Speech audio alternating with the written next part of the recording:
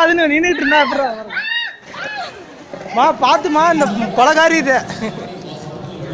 மெதி மெதி